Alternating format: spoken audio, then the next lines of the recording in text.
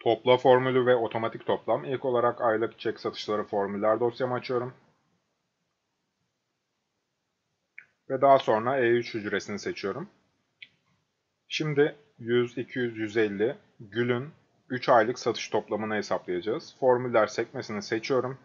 Ve buradan matematik ve trigonometri işlev listesi altında toplayı buluyorum. Toplayı seçtim.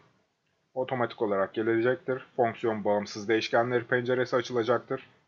Buradan bana neyi toplamam gerektiğini soruyor. Bakıyorum B3'ten D3'e kadar tüm hücreler doğru. Toplamları 450 mi formül sonucunu da gösteriyor ve tamama tıklıyorum. Otomatik olarak toplanacaktır arkadaşlar. Ve eşittir topla parantez içinde B3'ten D3'e kadar seçtiğini görebilirsiniz. İki nokta kullanması bir veri aralığını göstermektedir. İki noktanın anlamı budur. Şimdi E4 hücresi için, papatya için verileri toplayalım. Bu sefer fonksiyon ekle ya da işlev ekle ikisinden birini kullanabiliriz. Tıkladım. İşlev ekle penceresi açılacaktır. Buraya topla yazıyorum. Ve git'e tıklıyorum. Otomatik olarak seçili gelecektir bana önerilen ve tamama tıklıyorum. Tıkladıktan sonra yine fonksiyon bağımsız değişkenleri penceresi açılacaktır. Yine bakıyorum.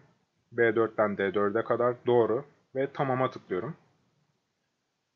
Evet bu da tamam. Şöyle seçtim hepsini farenin sol tuşuna bastım. Aşağı doğru sürükle bırak ile otomatik tamamlama yöntemiyle bu kısımları da hesaplatıyorum. Topla formülleri kullanılmış. Şu an burası sıfır gözüküyor çünkü soldaki değerleri topluyor. Bunlar da otomatik olarak dolacaktır.